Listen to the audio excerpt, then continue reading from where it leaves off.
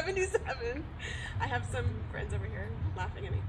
Uh, welcome. We're so glad you're here. Um, we are uh, we are Space Drafts. We are the Tucson version of Astronomy on Tap. Astronomy on Tap is a um, oh, can the house music off? Turn the house music off.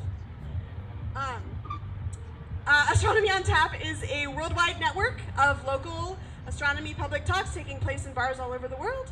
So if you're not from Tucson, uh, check out astronomyontap.org. There's probably one nearby wherever you are from.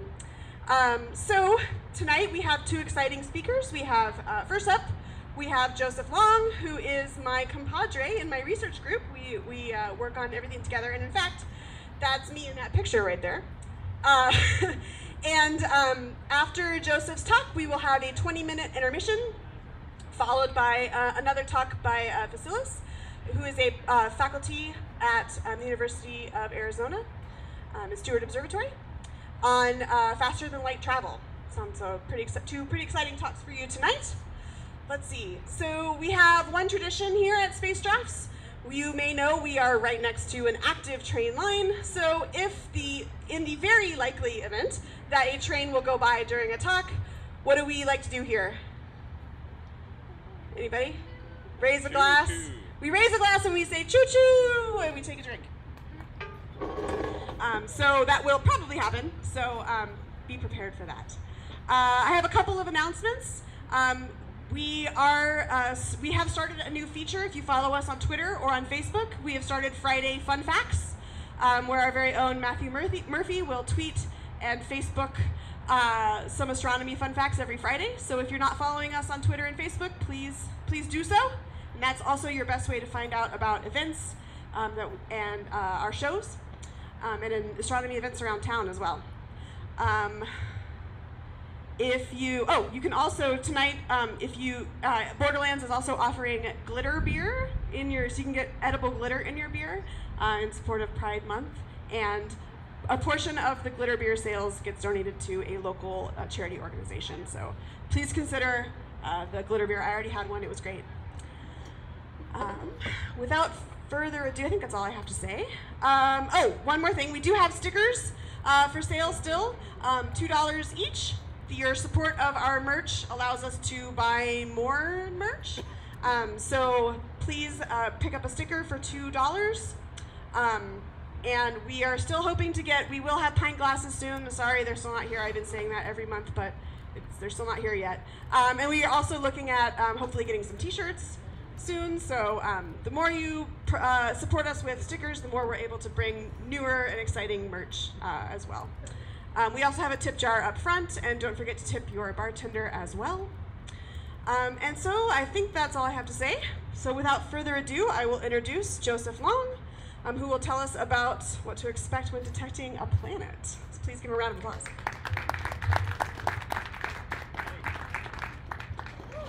Hi everyone. I'm uh, I just finished my fifth year as a PhD student at Steward Observatory.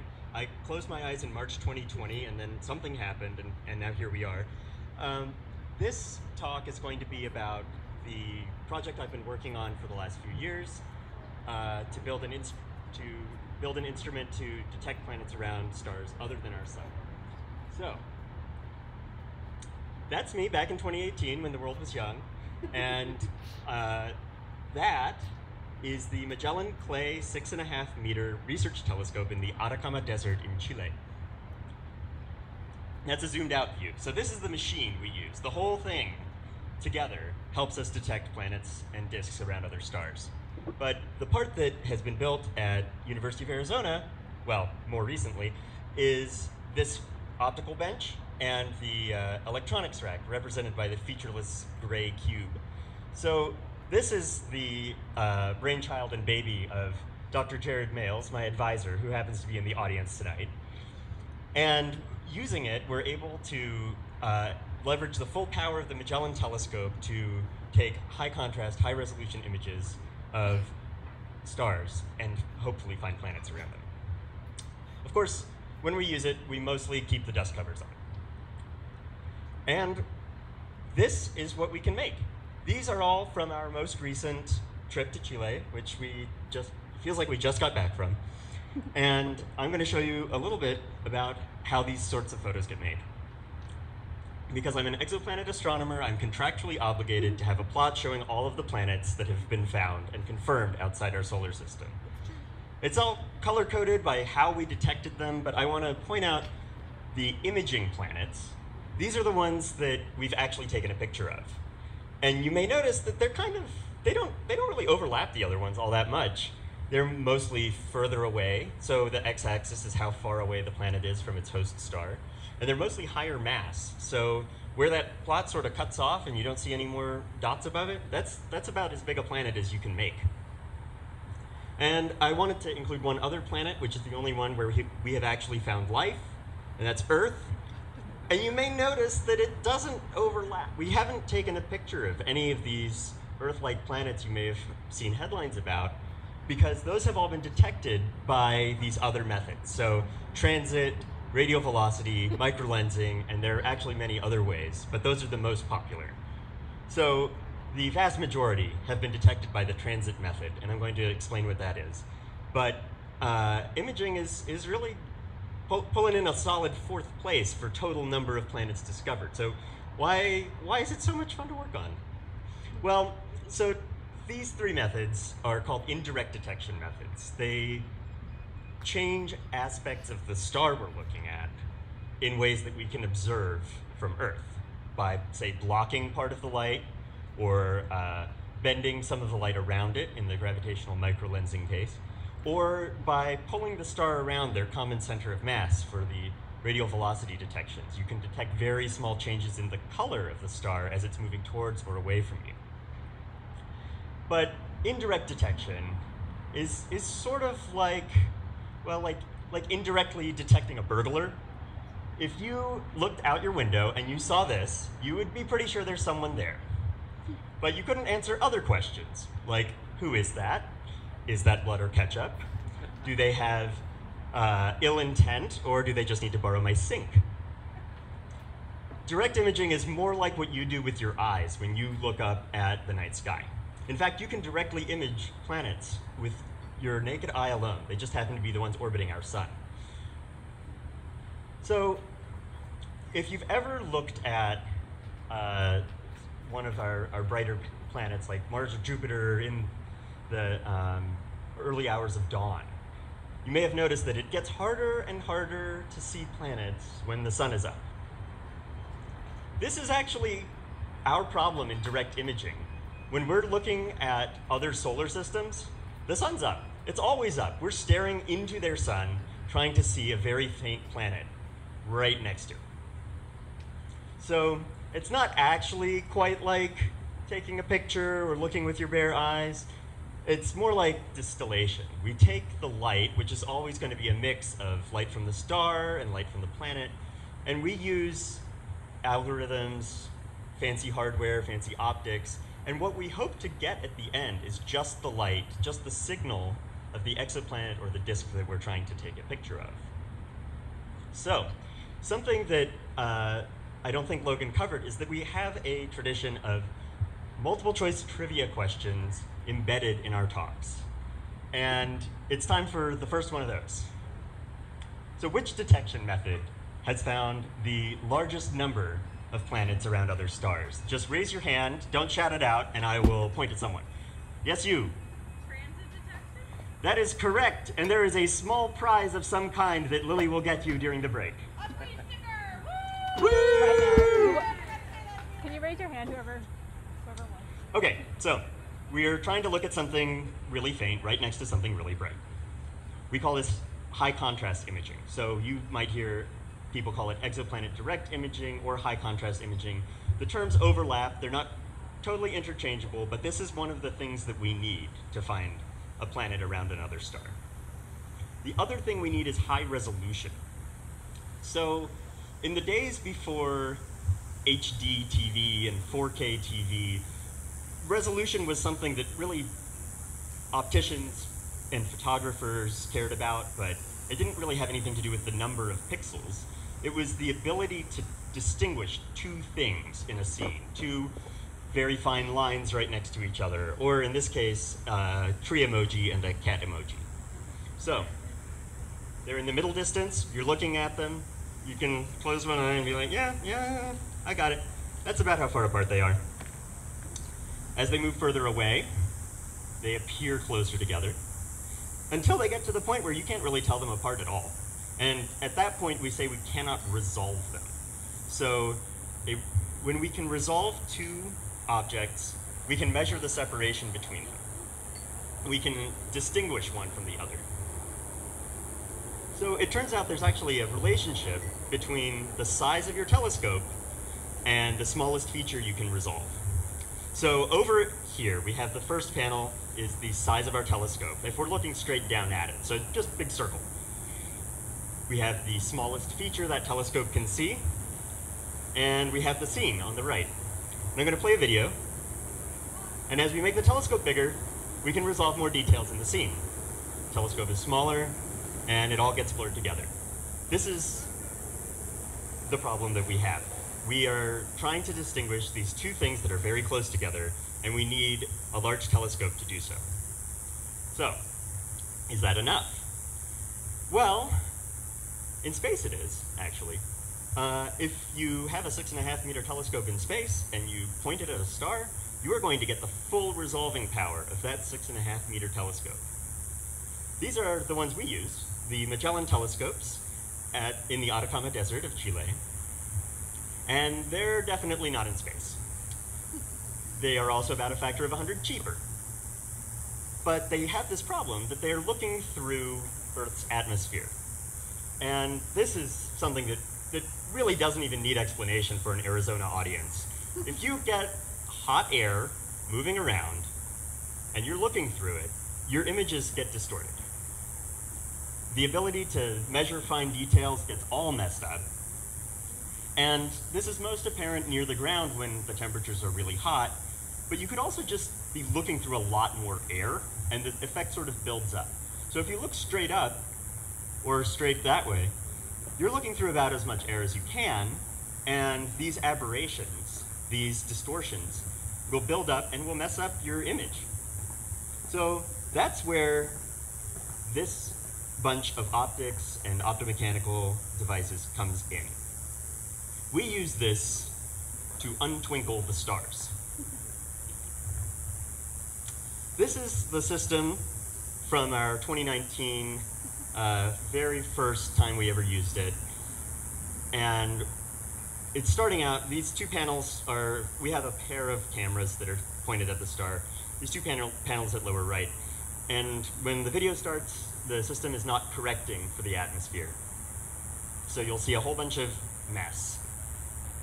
And then when we turn the system on, you can see right there there's a little dot that you couldn't see before. It just pops out. This is the purpose of an adaptive optics system. Adaptive optics takes the effects of the atmosphere, measures them thousands of times a second, and then corrects them out before the light even hits the camera. So that is how we solve our high resolution problem. We want to get the full resolution of our six and a half meter ground-based telescope. But how does it solve our high contrast problem? It turns out that if you can solve your high resolution problem, you've got a really good angle of attack on the contrast problem. So here, you can't see much, but it is the focused point of light from our system working really well. And I'm going to play a video here. You see it jittering around a bit. Then we gradually move this dot in front of it. And if this were winter, you would be able to see things. but since the sun only just went down, this is a somewhat disappointing video. I knew I should have done it in the purple color map. But once you've concentrated light into a tiny point, you can block it out with a tiny point without also blocking out your planet. So, how do you use an adaptive optics system? Here I want to go into a little bit of the sort of the logistics of how projects like this work that I feel like doesn't really get a lot of airtime. we we talk a lot about the cool scientific results, and we don't talk as much about the process that gets the data into the hands of the astronomers. So this is the route our instrument took from our lab in Tucson, the long way around. You can see it went to LA first, to the observatory in Chile. It takes weeks, costs thousands of dollars, and involves a whole ton of people. This is our uh, packing, moving out uh, from earlier this year.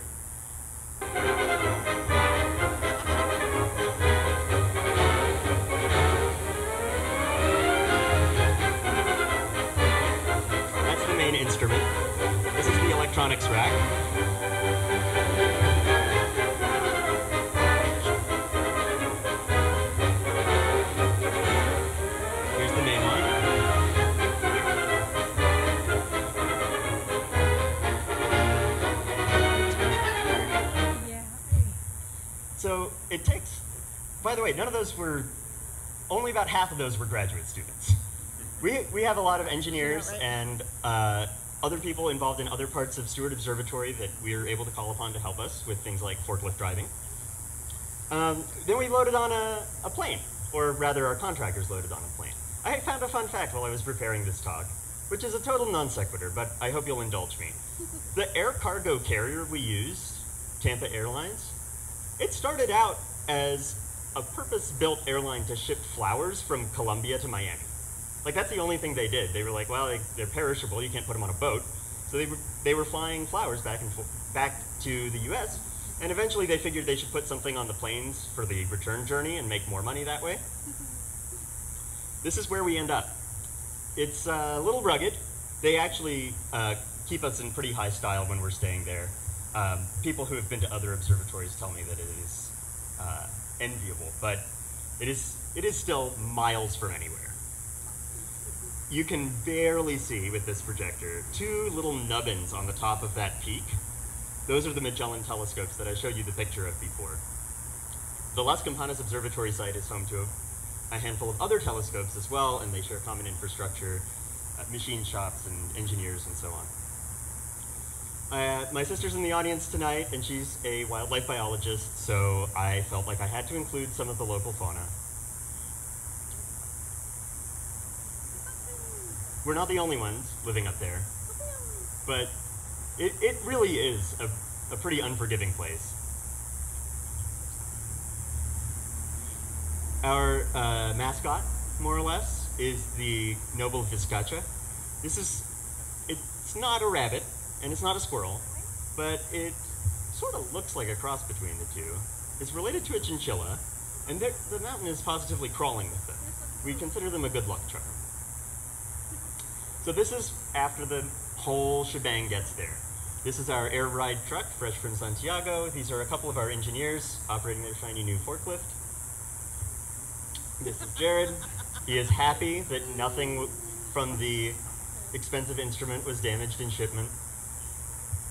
We actually unpacked the whole thing, which is not not a not a trivial task. We cable it all together, we turn it on, and before we even go the rest of the way up the hill to the telescope, we have to make sure everything works. We need to request replacement parts, if any, and uh, look for any signs of damage.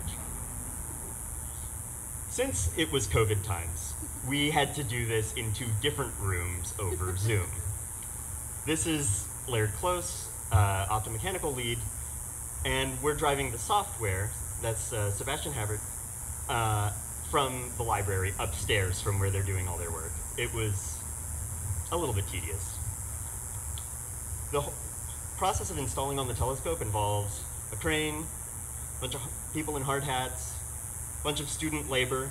So the uh, ring you can sort of see peeking out at the upper left, that's sort of circled. The center of that is where the light that the telescope focuses comes out. And we need to align our instrument to that, or else we can't see anything. That process is somewhat tedious, but uh, we got a really good alignment. We also need to connect all of the cables between these two uh, pieces of equipment. And we occasionally do need to take the dust covers off when we're at the telescope because things will break when we're actually trying to use them. When it's all working, uh, you need at least six monitors to keep an eye on everything. Uh, probably a few more, not visible because they're behind the camera.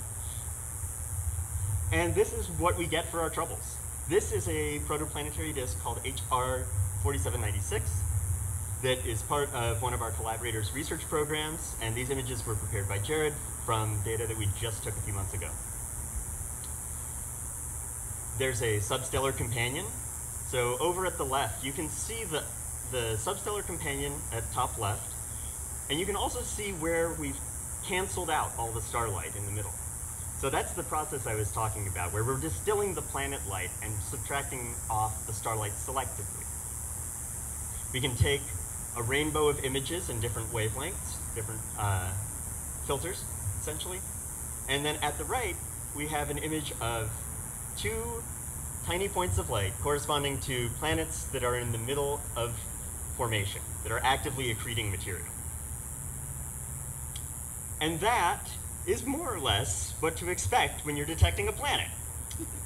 I'd be happy to take any questions you have. Make sure to follow our blog. It's only about 50% science, but it's all entertaining. And yeah, happy to answer any questions.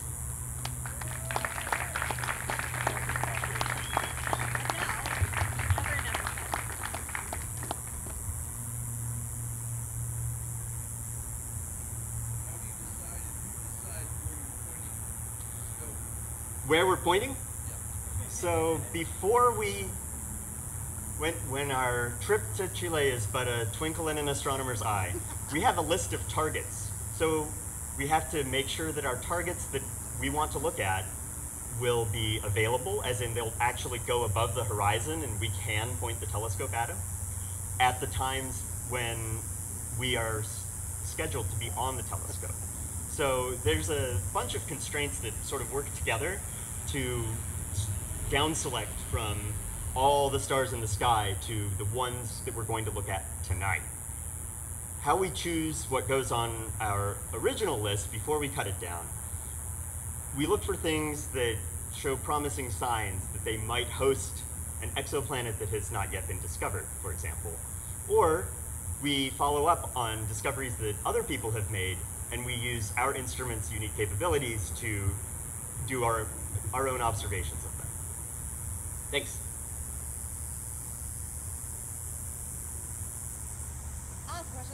All right. Why, why do you like direct imaging as, like, why do you personally enjoy direct imaging as opposed to some other way of studying a planet? Direct imaging. Can you repeat the question? Yeah. So what what what's my reason for doing direct imaging when it, we're number four? You know. Well, I mean, some some things are worth doing because they are hard. And the sort of conceptual clarity of pointing at a picture and saying, yep, that is the planet, is something you don't actually really get with indirect detection methods. You can't say, oh, that's the planet that we've isolated, and now we're going to do things like measure the color of it. That's something that you need direct imaging to do.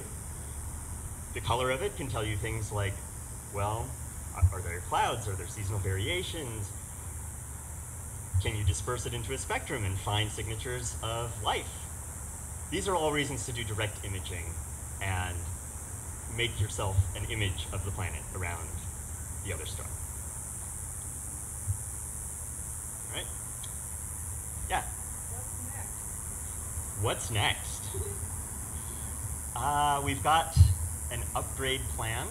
So the architecture of the instrument is uh, uses a bunch of things called deformable mirrors to counteract atmospheric aberrations. We're getting a much fancier one, and we're putting that in there. We're going to upgrade some of our cameras, and we're hoping to go back in the winter.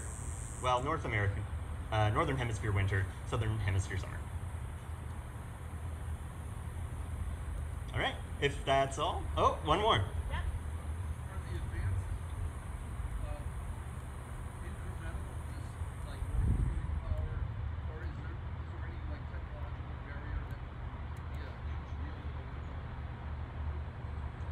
Hmm. So, uh, are our upgrades more incremental, or is this going to, you know, blow the whole thing wide open? Is that sort of the, the gist of it?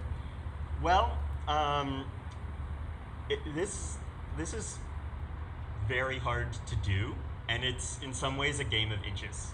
We are expecting to have better performance, but what we're really shooting for is the eventual creation of an extreme adaptive optics instrument. This subset of adaptive optics instruments is called extreme because it's able to do such high contrast, high resolution, high speed for an upcoming giant telescope, like the Giant Magellan Telescope that Arizona's a partner in. So that is that's what we're shooting for. That's the sort of long-term goal. And in the meantime, we're going to make the best instrument that we can for the regular Magellan Telescope. Okay. Thanks.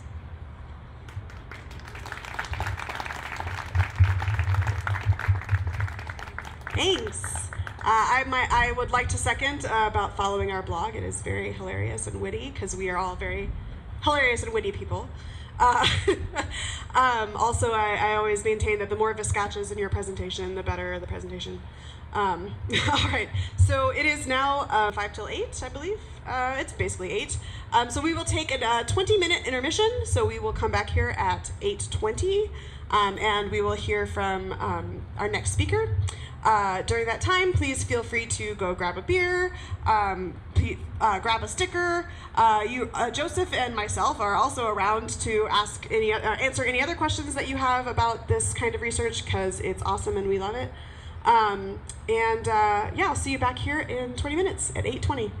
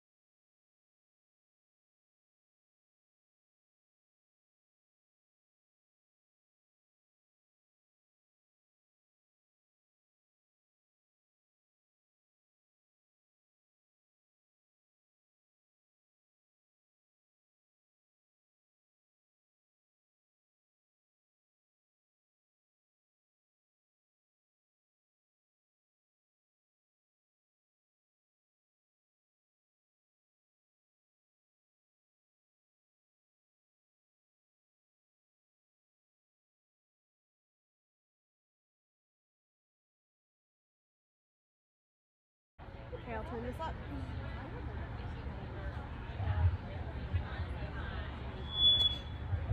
Don't do that when you're like right up against it.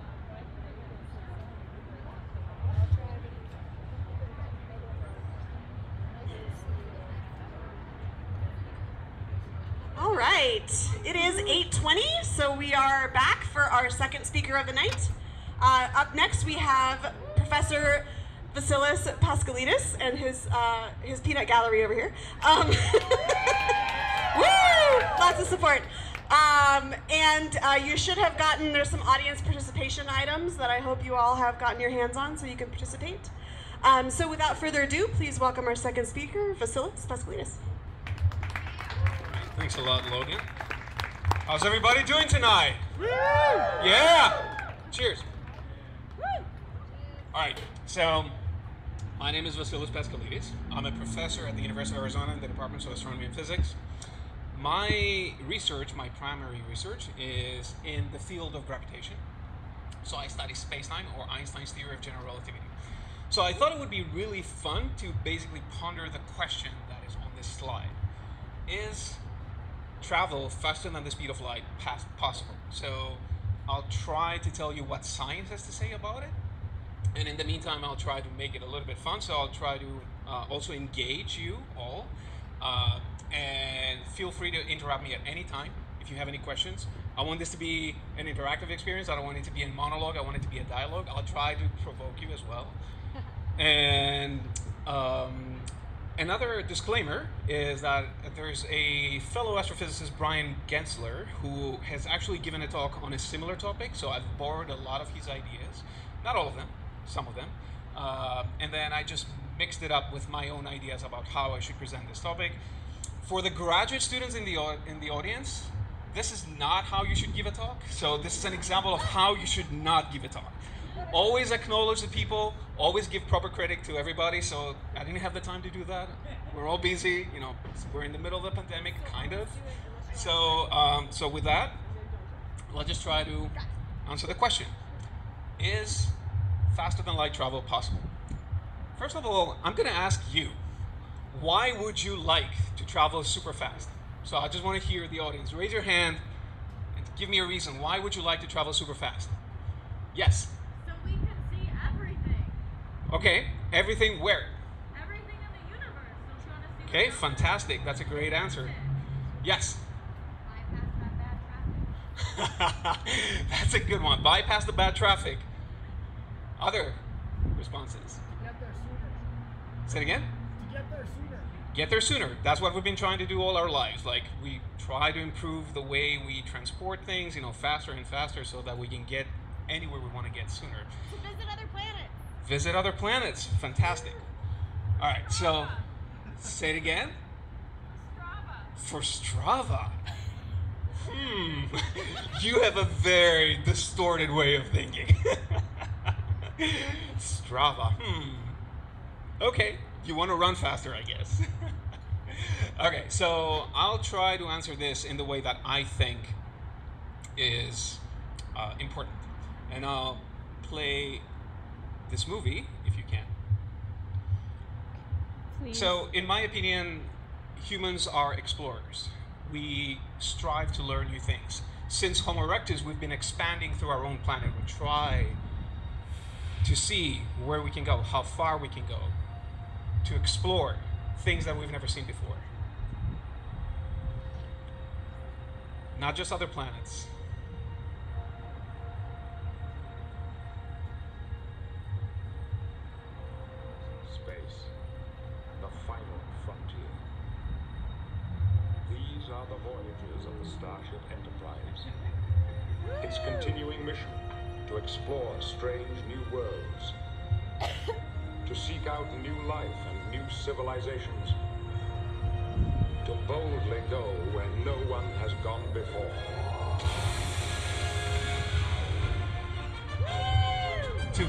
Go where none has gone before. So that's really the bottom line.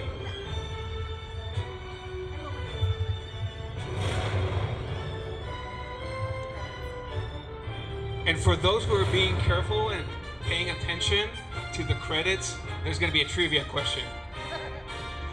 All right.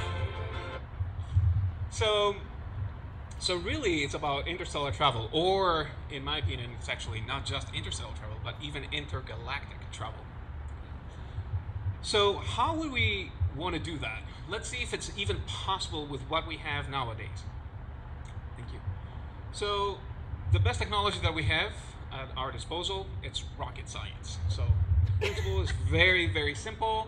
I'll just hold on to it. You just have this huge fuel tank, you burn the fuel, you direct the outcome of the burn in a particular position, in a particular direction, and that pushes the shuttle in the other direction. Just good old fashioned action and reaction, nothing very complicated. Just want to make sure that you just don't blow up this thing. So, what's the fastest thing, the fastest like mission we've ever built as humans? Turns out, actually, it happened very recent, about maybe a couple of years ago. The spacecraft that is known as Parker Solar Probe managed to achieve 364,660 miles per hour. Like just for comparison, when you drive your car, you know, you just go like 60 miles an hour, as you all know. Of course, if you want to get a ticket, you can go 100 miles per hour. You know, it's up to you. This is about three to like 5,000 times faster than what you can do in your car. Okay? So this is really a phenomenal speed by human standards. Now, the nearest sun to sorry, the nearest star to to our sun, not to Earth, because the nearest star to Earth is the sun. Okay? So the nearest star to the sun is Proxima Centauri, and it lies at a distance of about 25 trillion miles from us. Okay? So now you can probably know billions and millions, you know, in terms of dollars and all these things. Trillions, if you really want to visualize the number trillion, if you cannot, just think about the entire gross domestic product of the United States. That's about 20 to 25 trillion dollars. Okay, so this is a big number. So if you're going at this speed, if you want to go to Proxima Centauri, that's going to take about 70,000 years. That's several tens of thousands of or thousands of lifetimes, human lifetimes. It's not really practical if we wanted to go to the nearest star. And by the way, there is a planet, at least one planet in the nearest star, so that's maybe we have a reason to go there. So, can we get a little bit more creative and maybe not use fuel? Because one of the reasons why rockets are so slow is because they're actually pretty massive.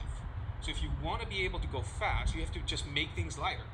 What if we can just get rid entirely of the fuels? And so, there's this idea that are called solar sails. Actually, they use no fuel. Just like the wind pushes a sailboat in the ocean and it travels, the same principle can be applied by using the solar wind.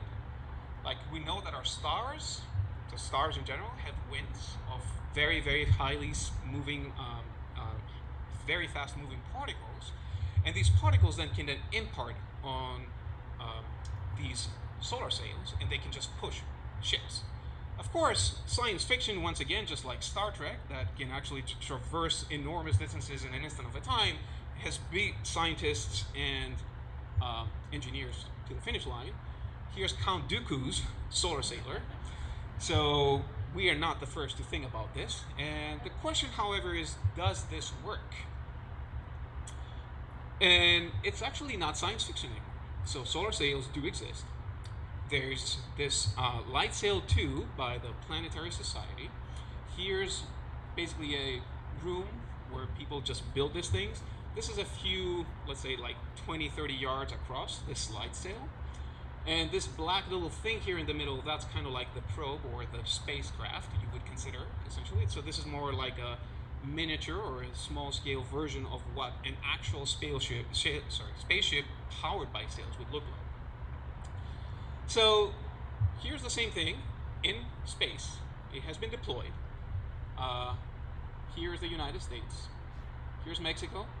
This is Baja California.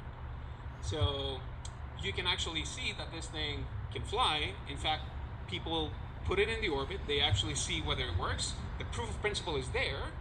But of course, as a figure of merit, you would like to know how fast this thing can go. When you drive your car, you want to know how fast it can go from zero to 60. Typically, cars will do that in three seconds. This thing does it in four days. So it's not really fast. It's not exactly there yet, but we can still ask. This is like the small scale version of that. What if we actually had the full scale? So you can do the calculation, you can do the mathematics behind it, and it turns out that it would get to Proxima Centauri in only 75 years. Now, of course, this would rely on a spaceship that has sails that are about hundreds of miles large, not just the small thing that we have here. And of course, there are practical questions. How do you get into orbit? Because it's not going to launch itself from here. How do you deploy this hundred of miles long sails? But it's a viable option. It's like within a human lifetime, we can just go to the nearest star. It's like, it's really impressive. Now, let's assume that somehow we are able to build a machine that can travel really, really fast. Maybe not necessarily at the speed of light, but it can travel at a fraction of the speed of light. Let's say a tenth or a fifth the speed of light. If you do that, you have to solve another problem. And that's the problem that in special relativity we call time dilation. So let's hear it from the experts. Can you play the movie, please? This is a, a, a clip from the movie Interstellar. So Oh, you have to go back. Go back to uh, it's not loud at all. I. Yeah. It's as loud as it's getting. Go back to the beginning. Sorry. Ooh. Uh, you can go back.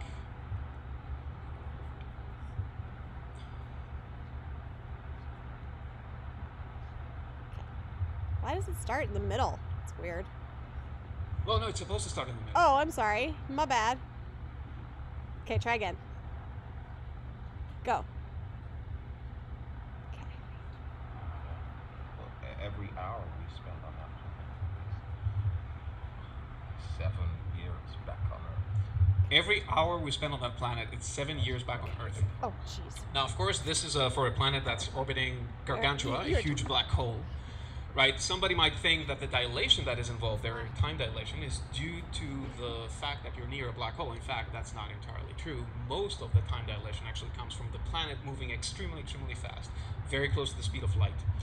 So, one hour on that planet is seven years on Earth. So, imagine that you actually get in a spaceship. So, the guy said at the end, that's relativity, folks. So you get in a spaceship, you travel really far away, and one hour you spent away from Earth is seven years on Earth. If you come back, even if you traveled for a few hours, everybody that you came back, uh, that you knew before, is going to be dead. Obviously, that's not something you want to do. Okay? Or you don't even want them to be like 10 years older than you. It's like so so time dilation is a problem. And you might say, well, is time dilation a real thing? And the answer is yes. Physicists have confirmed time dilation over and over again since it has been predicted by Einstein in 1905. And it has been predict uh, it has been confirmed with particle physics experiments. It has been confirmed with airplanes flying across each other and looking at the clocks. And the most practical application of time dilation is the global positioning system, the GPS. If you don't account for the effects of time dilation, the GPS would not work, especially for everybody who's uh, an outdoor person and they have these smart watches on the fo- on the wrist. The location on Earth that you get from the GPS system would be completely off if we did not account for relativistic effects. Okay, so this is really the perhaps one of the most important applications of relativity in our modern life. So time dilation is real. So we would have to solve these things, but before we talk about solving that, here's the trivia question. What is the name of the actor portraying uh, Captain Jean-Luc Picard in the 90s show, the Star Trek, The Next Generation? So is it William Shatner? Is it Patrick Stewart? Is it Scott Bakula? Or is it Chris Pine? Just shut up. I guess a lot of people are going to get stickers tonight. Can you call in somebody? Uh, call in somebody? I don't know. Everybody knows the answer. Better know the answer. All right, so it is Patrick Stewart, indeed. Um, okay. So let's start to think about a few more exotic options. teleportation. Okay, so again, science fiction has beat us, scientists and engineers. Can you play this one, please? So this is a, a clip for from uh, the 2009 Star Trek movie. Live long and prosper. It's very simple. Just get into the room, flash your lights, and all of a sudden you get beamed up into a spaceship that travels faster than the speed of light. I love the sound effects in space. You know, sound does not exist in space. so- Okay, and you're on the ship. It works almost. You know, it's not exactly there. You know, sometimes you get beamed up, or sometimes you actually get beamed up to a death trap. So, you know, at least the principle is there. You know, science fiction has figured it out a long time ago. Uh, this is not. Can you transition to the next slide? Oh, thank you. Sorry. All right, so um, the good news is that teleportation is real. We have actually managed to teleport things. Well, not things, we have actually been able to teleport photons. So, this is a paper that was um, submitted to Nature, actually published in Nature by Chinese scientists in 2017, who managed to teleport a photon. A photon is a packet of light. That's what you can think of it from a ground station in the Ngari Tibet Observatory to a satellite, the Micius satellite, about a mile away from Earth. So they did not, of course, the photon itself, the object they teleported, did not move. What they did, they actually transported the information. So they actually measured what is the information of the photon down here, they send it up there, and they created an identical copy of that photon. So that's what modern, what teleportation would be like, and that's called quantum teleportation. So it's interesting, it exists. Obviously, you want an exact copy, especially if you're applying it to a human. You don't want to have, you know, be teleported and missing a limb or anything, you know, so you need an exact copy. Um, but is it practical? Even, you know, like, obviously, this is like very primitive right now, it's, it's early stages. Is it practical? So let's just try to think a little bit about it. So it has been estimated that each human cell genetic code is about 1.5 gigabytes of data. And a human body has about 40 trillion cells. So again, trillions, think about the total GDP of the United States. So the total genetic information in a human being is about 60 trillion gigabytes. At the fastest data transfer rates that we have available in our society, which are wireless, not with wires, it would take about 200 million years to um, teleport a human from here to anywhere we want to teleport that human. Now, this is not, of course, is a is a lower estimate because really there's a lot more information in a human. There's our experiences, you know, the memories. There's a lot of information that makes us us, right? So this is really not a number that tells us what the true time would be. For if you do the calculation with some estimates that I've found what's the total information in a human being, it actually is larger than the age of the universe. So you might as well swim through space to go to uh, Alpha Centauri. Okay, so then the next question that comes to mind is what is the fastest speed that humans with anything have ever been able to achieve? So what physicists like to do when they want to uncover the secrets of the microworld, they try to smash things together. We take atoms, just accelerate them, we smash them, see what comes out of the collision. We take protons, we smash them, we see what comes out of the collision. That's how we understand what the constituents of what we are made of are. So, the biggest experiment that has ever been done, the biggest accelerator, is called the Large Hadron Collider. This is at CERN. It's this ring here that you see. Uh, it's this, like, pretty much the size of a city accelerating machine that takes protons in it, accelerates them, and smashes them together. So, the fastest speed that has been recorded so far is 186,281 and 998 miles per hour. So this is like an insane speed. Sorry, miles per second, not per hour. Um, so this is like extremely close, but not exactly the speed of light. It's actually a little less than the speed of light. In fact, anything that we have ever measured in our facilities with our instruments, it can never exceed the speed of light. So how fast is the speed of light? The number very close to the one that I've already told you. It's 186,282 miles per second. That's about 650, sorry, 670 million miles per hour. So just to give you a sense, light goes around the Earth seven and a half times. You can play them with you. Okay? Um, seven and a half times every second. So it goes around the globe seven and a half times every second. So that's extremely fast. That's why we cannot really understand how fast light is. We think that when you switch the light on any lamp, uh, any light bulb, it's instantaneously, and that's because it's so close. So light, you can only understand that it's not traveling at an infinite speed only if you want to traverse very large distances. So light for our daily purposes is fast, but when it comes to space, it's actually pretty slow.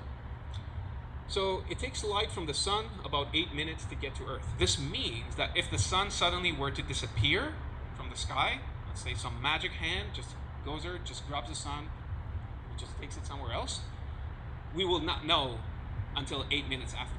The sun will still be shining in the sky, and we'll find out eight minutes later that the sun has disappeared. It gets worse when it go when we go even further. It takes about four years from light from Proxima Centauri to get to us. It gets even worse when we actually think about the other side of a galaxy. It takes tens of thousands of years for light to get from the other side of our galaxy to us. Which means that even if we were to travel at the speed of light, we would need tens of thousands of years to explore our own our own galaxy. So even the speed of light, if you can travel at the speed of light, it's not a very practical way to traverse all these immense distances. And it gets even worse if you want to go extra galactic. So, light from the Andromeda galaxy, one of the nearest, at least large galaxies, takes 2.5 million years to get to Earth. So, to put that in perspective, the light that we see now from the Andromeda galaxy was emitted 2.5 million years ago. So, we're actually looking at what the Andromeda galaxy looked like in the past, not what it looks like right now. Okay? So, the speed of light in vacuum is the ultimate bound on how fast anything physical can travel through space in the universe. This is something that we have tested for over 100 years. It has never been violated. Never. This is why it's an axiom that we take it for granted because we always try to measure it, we always try to see whether we can break it. If you were around in 2011, it was a big surge in the media. Uh, CERN scientists break the speed of light. I love the titles from the media. It's like they break the speed of light. Time. Was Einstein wrong? Everybody wants to prove Einstein wrong. It's amazing. Faster than light neutrino could be saying yes. The New York Times was Einstein wrong. Everybody tries to question Einstein. So, five months down the road, scientists did not break the speed of light. It was a faulty wire. So, the only thing that travels faster than the speed of light is human error. Okay. So, um, it has never been found to be violated, and it will not be found. It's like we have been, physicists have been very, very careful about that. All right, so no physical object can travel through space faster than the speed of light in vacuum. And I specify in vacuum because light in matter actually travels slower. Like light in air or light in water doesn't travel as fast, it's slower. So it's really in vacuum, in free space, that this is the case. And also, I specify here through space. The object is moving through space. Okay, so that's important.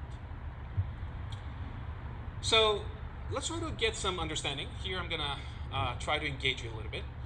Why objects cannot move faster than light? So I don't see a lot of chairs here, but uh, for those of you that have chairs, I would like to ask your one of your friends to stand up and uh, please do that.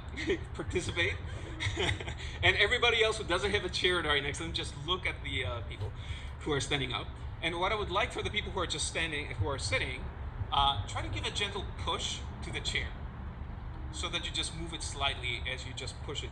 You give it a very gentle push, right? And you'll see that the chair is going to move. Okay. Now ask your friend to sit back down. Please sit back down and try to give the exact same amount of push to the chair and see if the chair is moving. Okay. So obviously the chair is not moving. Okay. So what I'm trying to demonstrate here is the following thing. There's a, a property that matter has that is called inertia. Inertia is the resistance that matter has into changing its own state of motion. So the chair doesn't want to move, you try to push it, it's going to resist to change the fact that it's not moving. If it's moving, it's, and you try to stop it, it's going to resist. That's why when you're in a car and you brake, your body moves forward because your body doesn't want to change its state of motion. It was already moving. That's why it moves forward. That's why we need seatbelts. So inertia is a property of matter that says, I don't want to change my state of motion. If I'm moving, I want to keep moving. If I'm stopped, I just want to stay stopped. The reason why when you have the person on the chair that the chair doesn't move is because it's more massive. This has nothing to do with gravity, right? You're not pushing something to lift it. You're not fighting gravity. You're just pushing horizontally. So you're just trying to change the state of motion. The lesson here is that the more massive something is, the harder it is to change its state of motion. The harder, the more energy you need to put into accelerating it, into moving it fast. That's why when you try to roll your bike, it's easy to roll your bike. But if you try to move a car, it's very hard. There's no gravity, right? It's heavier. It's more massive. Well, you say heavy, but it's heavy has to do with gravity. It's really the mass that matters. So um, the reason why things cannot move faster than light is connected to this idea. The true reason has to do with the fundamental symmetries of nature, what geometry actually describes nature.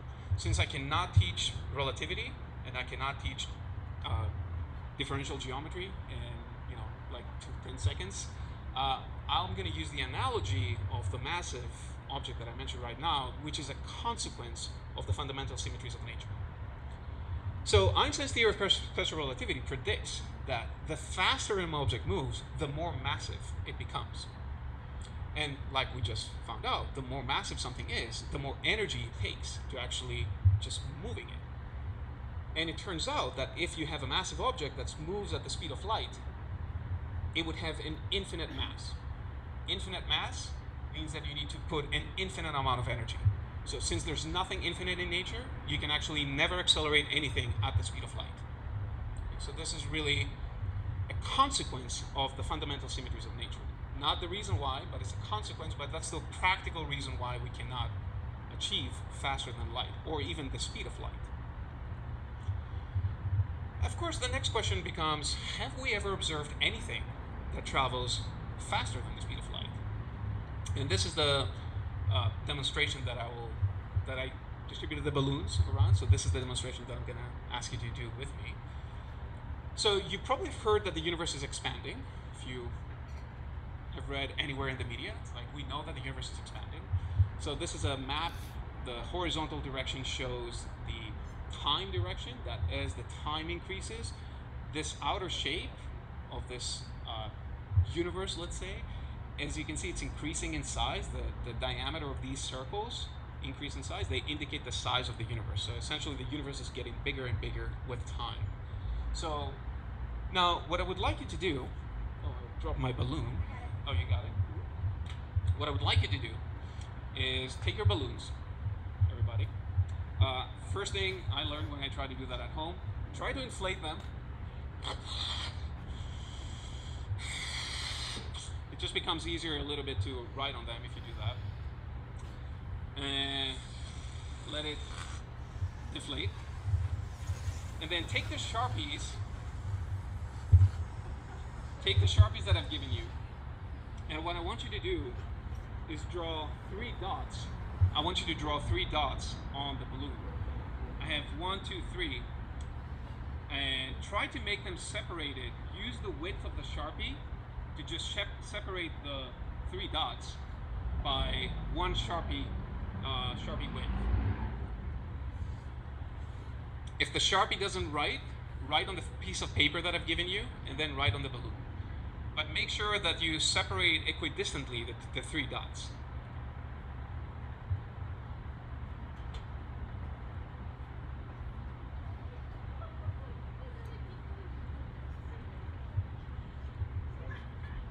So you have three dots, and they're separated by about a sharpie's width, each one. The first one is separated by the second one by a sharpie width. The second one is separated by the third one by a sharpie's width.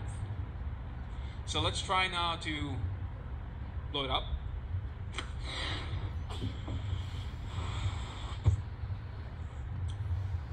And uh, blow it up such that you are about two sharpies uh, apart. Okay?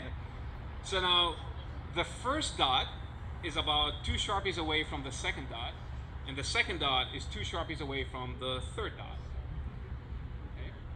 So this means that the first dot is four sharpies away from the first dot. Okay? So the initial distance was one sharpie between the first one and the second dot. Now it's two sharpies. The initial distance between the first and the third dot was two sharpies. Now it's four sharpies. So it increased further. Okay. So in the same amount of time that it took for the two dots, for the three dots to just move away, the dots that are further apart, they move even further away.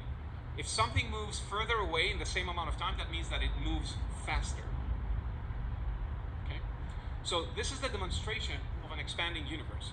The dots on the balloon designate the galaxies in our universe. The surface of the balloon is our universe. It's, of course, a two dimensional analogy of what's going on. Our universe is not two dimensional, but it's the closest thing we can do such that we can see that objects that are further away, they're actually moving faster away from each other. Okay? So this is important because because this means that the further away something is, the faster it moves away from us. And of course, it's the opposite. The further we are from something, we move faster away from that as well. So there are galaxies in the universe that actually move faster than the speed of light.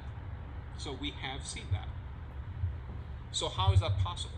How can something move faster than the speed of light when relativity says you cannot travel faster than the speed of light?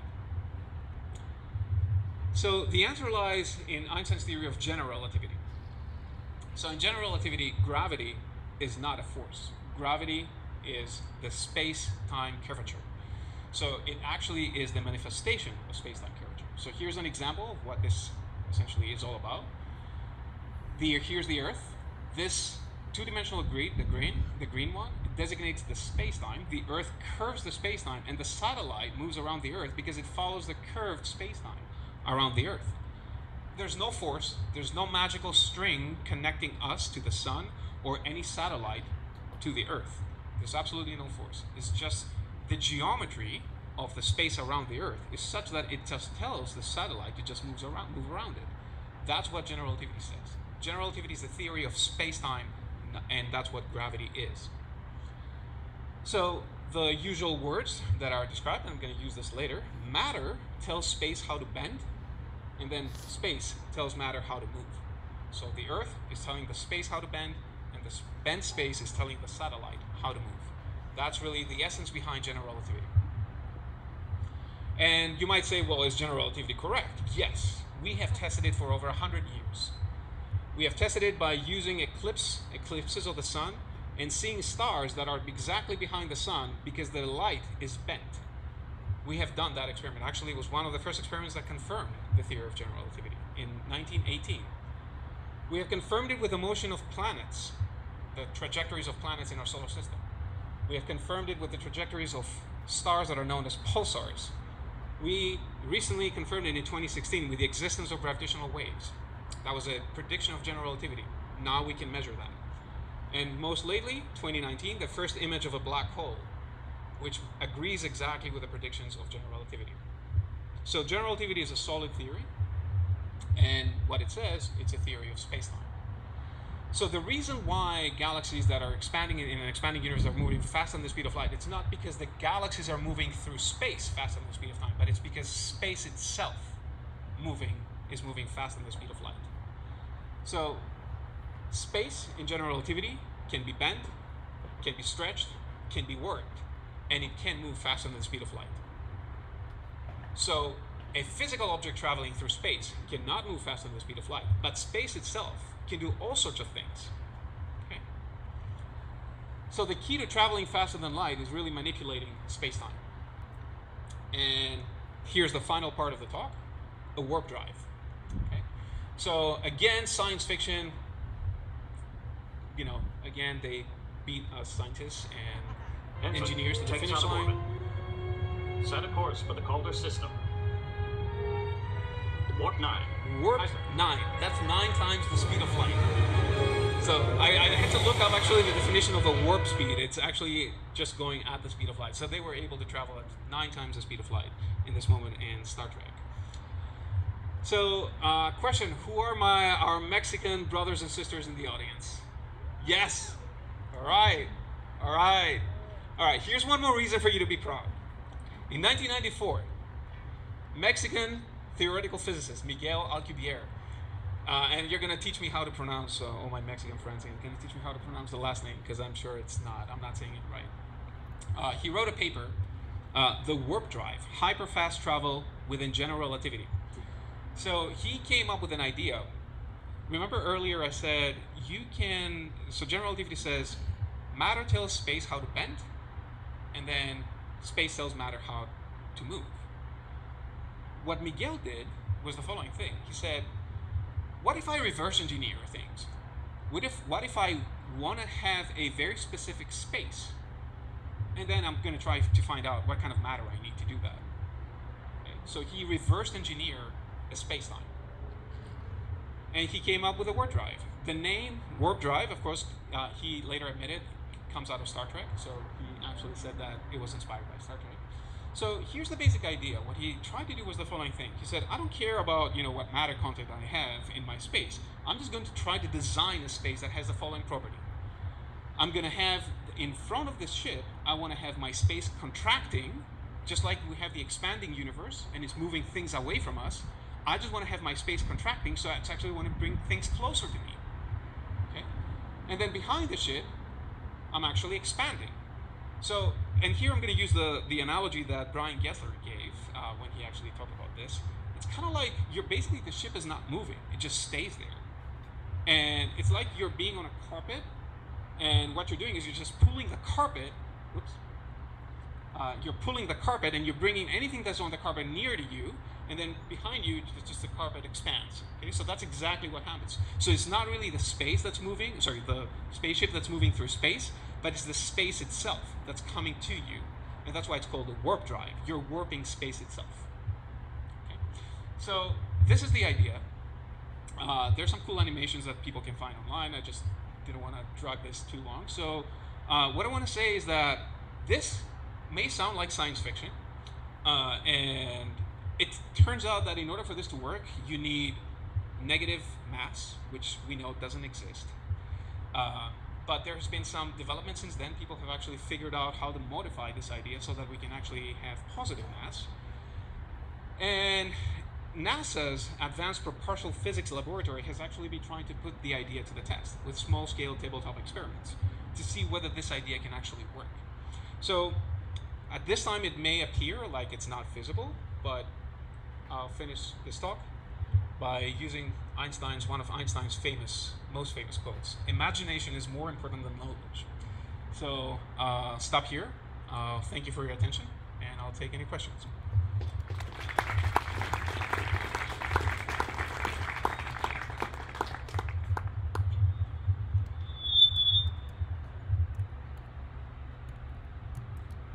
Everybody understood everything, or nothing.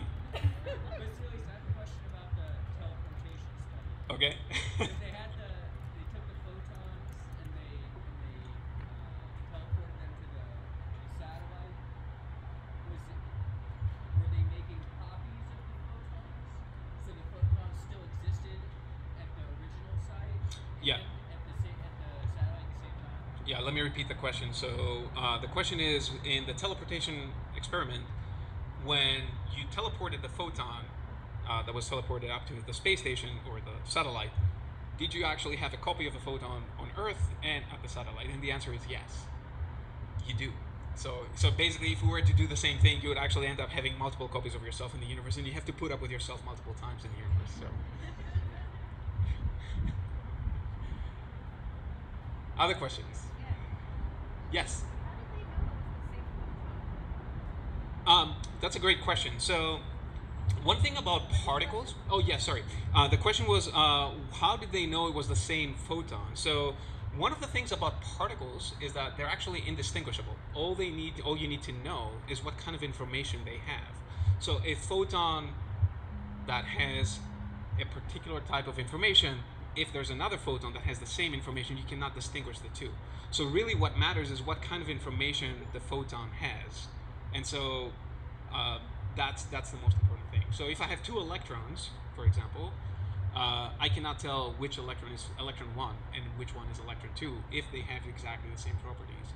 So that's, that's an important thing in quantum physics. We cannot tell particles apart. The, usually that's you know, in some cases you might, um, but this basically usually goes by you know, particles are indistinguishable. Um, But how did they know that it was uh, identical copy of the same photon? oh, because they measured the properties of the photon, And then- okay. And they found essentially they have the same information in both photons. Um, yeah. Yes. So did they apply the same replication, or did they create it out of nothing? Uh, well, it's it's a little bit more involved. so th- the whole process involves something that is known as quantum entanglement, uh, and it's it's a little bit. I mean, this is a very interesting quantum mechanical thing that Einstein himself called spooky action at a distance. So you basically prepare two particles that uh, they are in some state that is called an entangled state, and you don't know what they actually what the state is. Then you just take these particles, you move them really far away from each other. You measure one particle, and immediately you know what the other particle should look like. So that's kind of like the basic principle behind this experiment. They use this this idea of quantum entanglement to uh, make it work. Um, and the reason why Einstein called it spooky action at a distance is because you can really move the particles really far away from each other, such that you cannot send any signal to them faster that even faster you have to send something faster than the speed of light and you're still not going to be able to you know communicate any information but yet experiments have demonstrated that this is the case. Other questions?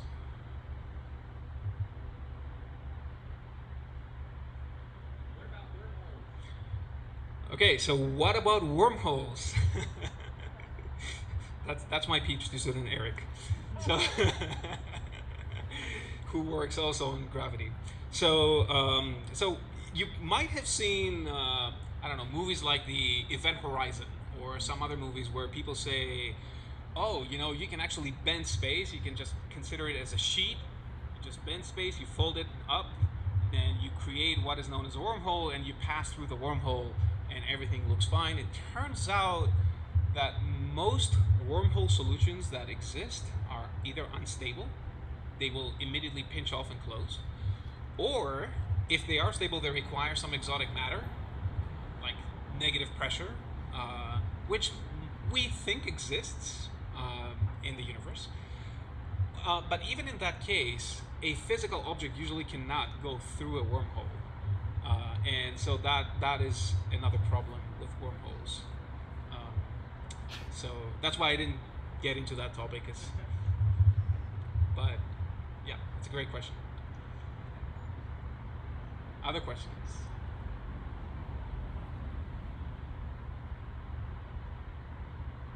All right. Cool. Thank you. Thank you, Vasilis. Uh, just like with Viscachas, I'm always happy when when talks have more uh, Star Trek references. Uh, okay, so um, that is it for Space Draft 77. Thank you all for coming out. Uh, there are still more stickers available. Uh, don't forget to tip your bartenders, and if you feeling generous, um, tip us as well. Um, and uh, we will see you back here again on July 19th. Uh, we are here on the third Tuesday of every month. You can follow us on Twitter. You can follow us on Facebook.